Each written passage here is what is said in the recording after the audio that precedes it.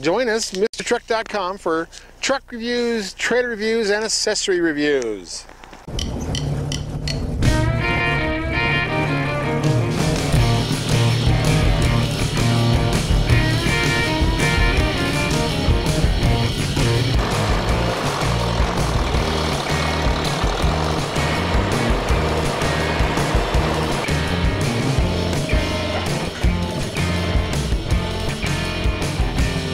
Mr. Truck here with another exciting review. We are at Jackson Lake, which is really cool. Even though the water's dropping, I'll be able to walk out halfway in the lake. And we're here reviewing a 2020 Nissan Frontier. Yes, I know it's the same truck as 16 years ago, but next year it's going to change, be a major change. So this year they gave us a new engine. And this new engine is a V6 3.8. It was a 4 liter, but now it's got more power. It's got class leading horsepower.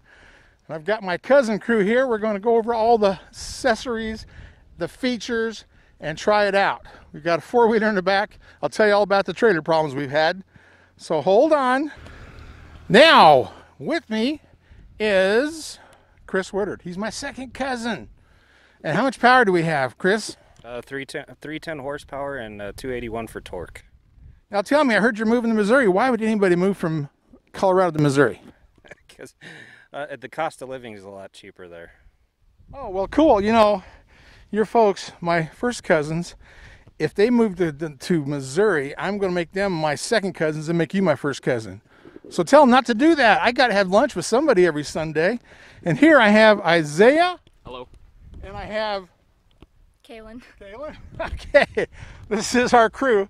We're going to run around the lake here and try out this Frontier and see what it does. So come join us for the review.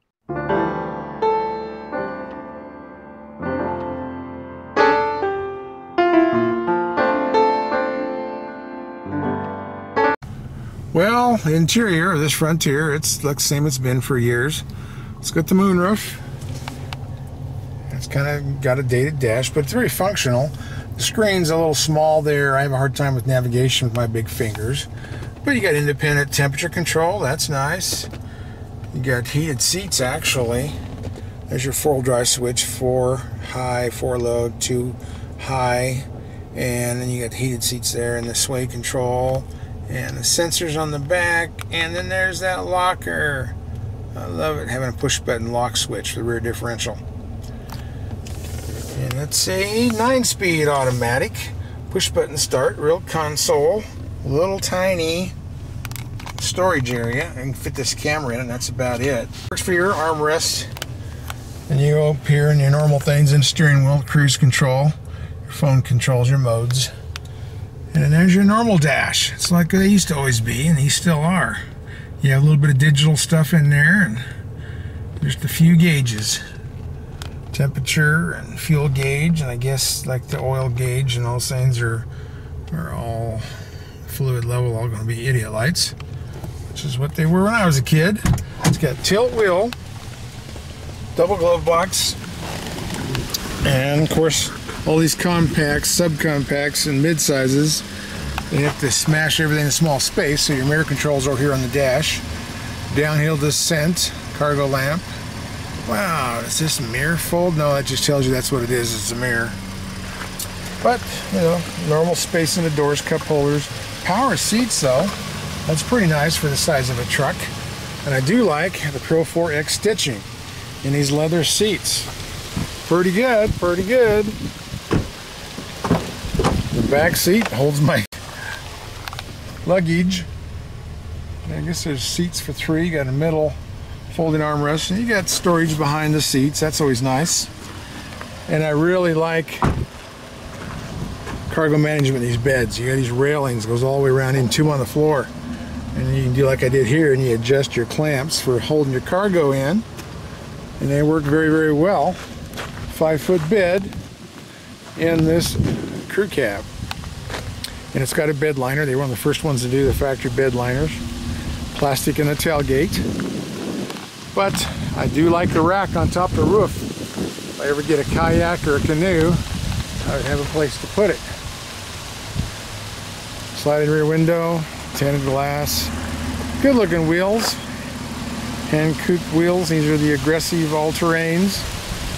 But they're a comfortable little truck, and like I keep saying, they're great value. It's probably the cheapest priced one in the category, and the category is getting pretty full now. You got you got uh, Wrangler, uh, Ranger back in it. You've got uh, the Jeep Gladiator in it, but cool truck. The, the sway control. Rockford Fosgate system. Yeah, yeah, yeah. I mean, it's it's old school, which I, I like a lot of stuff old school. But you know, it's it's just dated. There's the only thing wrong with it. Nothing wrong with the truck. It's gonna last you forever. And like I'm saying, this is the time to buy them when you got the new engine, the new transmission, the old body. You can get hellacious discounts. And I'd say if I was looking for a midsize, this would be on top of my list. I think it's the most value you get in the midsize class. So a lot of competition running with this Frontier. And it used to hold its own. Well, now you see the numbers dropping off, so they've got to do a change, a new body style, and a bunch of other things. And it'll be cool. They've done it to the Titan a couple times, and I like the changes they did to that. So I'm sure you're going to see a similar theme. It won't be a T like they do all the Titans. Probably an F somewhere. You find an F in the tail lights and an F in the dash. And, well, there it goes.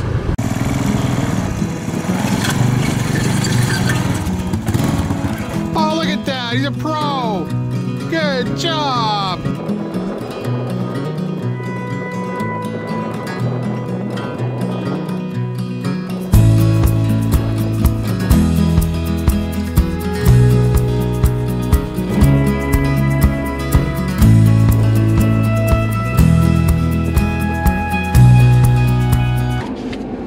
Off on another adventure here at Jackson Lake. Got a full crew.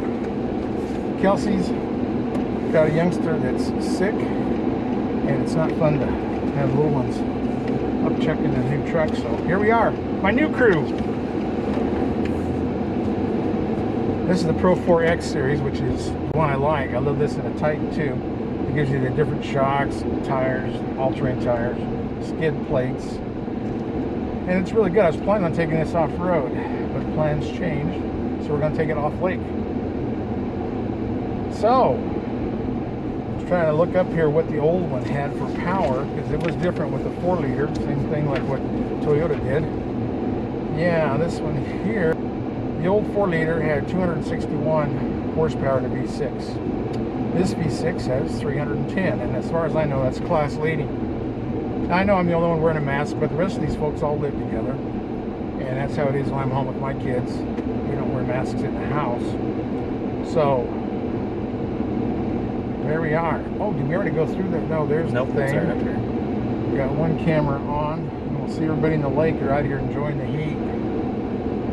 But, and that's also what they changed, went from a six speed to a nine speed. And that's kind of all of a, a thing that'll tell us why don't we go through both sides? You want me to try it? Yeah, let's try it. We're Mr. Truck Company. Oh, we do a lot. So they ask us questions, these guys may be new people here. Well, if you aren't breaking the rules, you aren't doing anything. That's my rule. Unless there is only one person in there, then they might get all upset with us. Thank, Thank you. you. See, they know Mr. Truck. Yep, they went from a five speed to a nine speed. That's a big improvement. I think they've already done that on the Titan. And there's similar transmissions. 16 inch wheels on this rascal. Now this is like a pre-production model, so there's no Monroney, so I'm just gonna have to make stuff up. No, I won't do that. That'd be a terrible thing. Everybody out here camping, having a good time. It does have a rear differential locker, so some button you can push. Must be on yours. No, there it is, right there. I'll show that on the camera where all the toys are. Push button four-wheel drive, and this is a true four-wheel drive, high and low. And put it in two-wheel drive. The off-road package, the Bilstein shocks, which I like. And of course the skid plates on the oil pan, the fuel tank, transfer case. So it covers your engine, the transfer case, fuel tank. That's important stuff. I like Pro 4X package. I've driven a lot of these in the Titan. I've driven several in the Frontier. I'll probably find someplace some rocks I can climb over. I actually like the mirrors on this. They're a decent sized mirror for a mid-size. And this will actually tow 6,640 pounds of trailer. And the thing with that is, I always request hitches, and the Lexus didn't come with a hitch. This one supposedly have a hitch, it didn't. And So Nissan was kind of, they said they could take it to the dealer and put it on, but we never had enough time to do all that. But also got to wire it in for uh, you know some kind of lights on your trailer. But that's what I wanted to do, and we'll keep on that battle. Eventually, somebody's going to remember. But I only want them with trailer towing ability. Ah, there's the lake. We'll drive around the lake so you can see it. Hopefully, see some Sea-Doos. The lake is going down. This time of the year they start draining a bit because it is a farmer lake reservoir. But I've always liked this truck. I always considered the Frontier the best value. Know, everything else is a lot more expensive than the Frontier is. Don't you go all the way to the end and we'll follow that one to the boat ramp, toward the boat ramp and around by the lake. There's cameras on that side. A lot of people out having fun. It's unbelievable how popular Jackson Lake is. We was here a lot this winter and we were able to get in here. Couldn't go to the picnic grounds, but the forest ranger, the park ranger said we could certainly come through here. It's a pretty nice one too. They got outhouses everywhere. They got a beach where you can go out there and walk in the sand, chase the pelicans.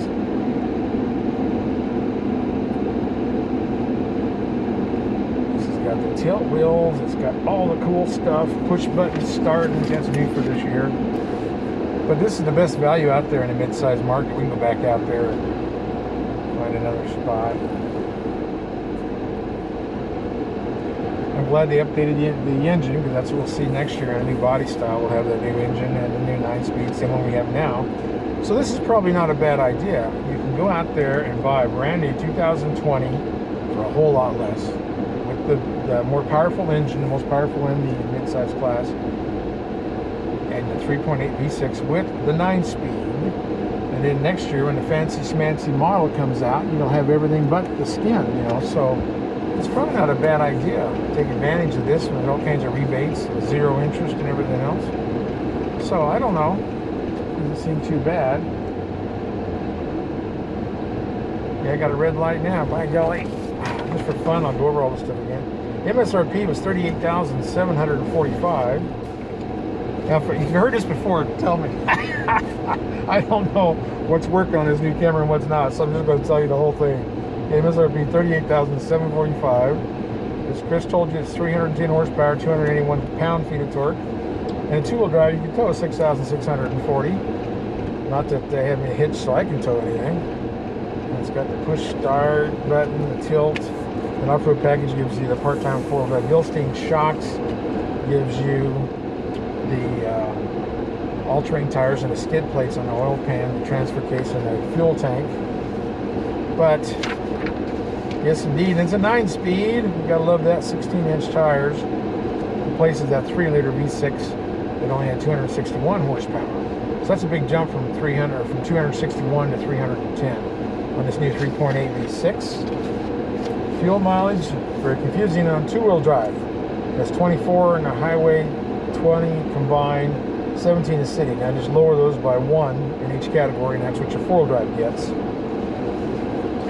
So, that's what it is. And we're towing this, we probably have 500 pounds in the back, and I don't know if we have 400 pounds in the cab. We're nowhere near what the payload is on this. But we're having fun here at Jackson Lake, which I think everybody and their dog is here. Did you guys bring your dog? no, we left them all at home. Oh, okay. So is that the truck you're going to give to Isaiah? yeah, right. well, that's what you do. After you bang them up, you give them to your kids. That's how I looked at it. Okay. Well, that remote thing, or I'm going to stop using that because it's blinking now, it's working, and I have no idea when to quit doing that. You want me to go all the way out? Yeah, go out. Okay, now, you had, you, the, you're talking about the off-road package, and this is the Pro 4X package. And what did you say about Bilsteins? Well, your your Pro 4X package isn't that more of the higher end package usually in, in, in these trucks? They are. It's a big thing with Mercedes. So you're right, Right. and that's that's. Uh, they have a lot of cool packages. RVs are big with them. The high-end RVs love Bilsteins. So I guess my thing with this particular truck, this day and age, these uh, touch screens or these screens that you use your navigation for are usually a little bit bigger than what's Yeah. there. I mean, it's a little bit hard to see compared to some of the other trucks we usually.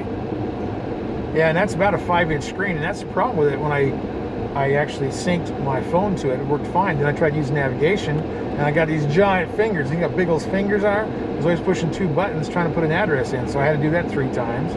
But yeah, then this, this is old school dash. You can see what it is. None of this is like a modern setup at all. But that's fine. That's what makes it economical. You can see down there we get next to the locker. And oh, it's got heated seats. Holy cow, it's a luxury automobile.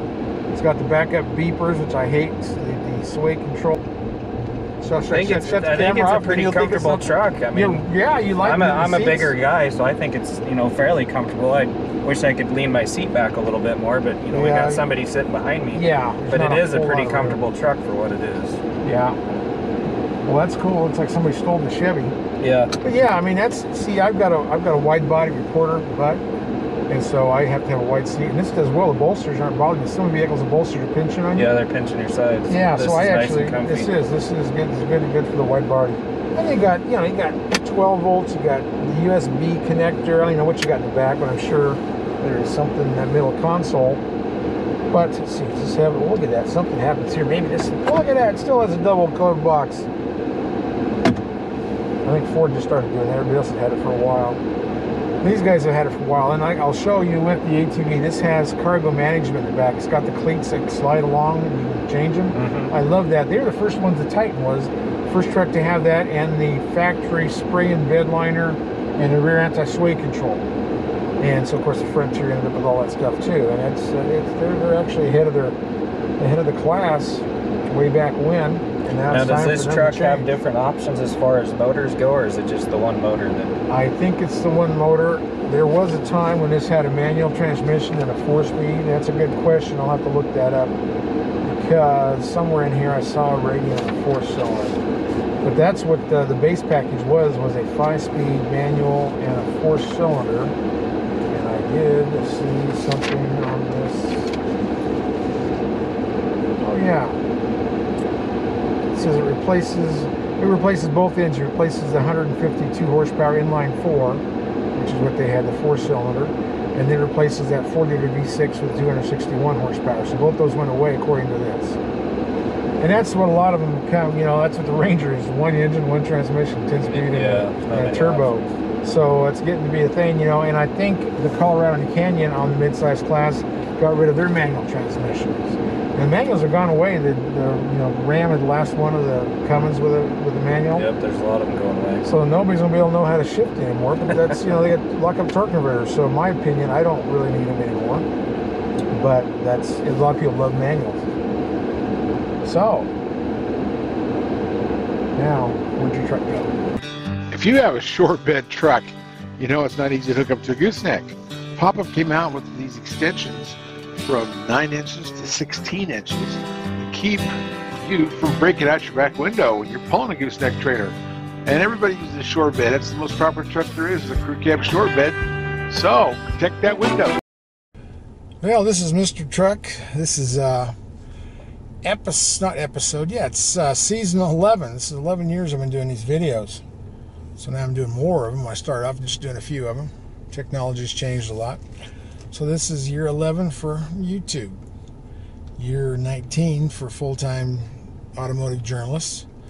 But uh me shut this fan off because I don't know. But anyway, season 11 Mr. Truck's Old Man Words of Wisdom.